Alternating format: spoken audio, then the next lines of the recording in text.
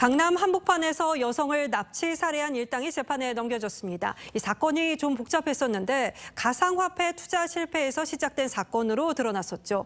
이들이 범행을 모의했던 구체적 상황이 자동차 블랙박스에서 확인됐습니다. 권영석 기자가 취재했습니다. 지난달 강남 주택가에서 발생한 40대 여성 A씨 납치 살해 사건.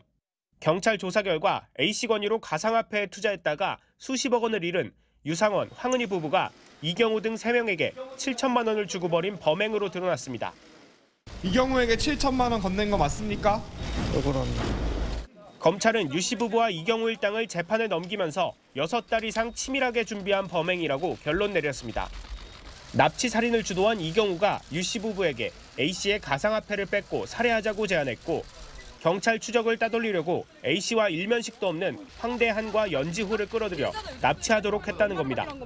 이들이 어떻게 살해한다는 거냐, 수사가 길어질 것이라는 등 범행을 모의하는 대화도 차량 블랙박스에 담겨 있었습니다.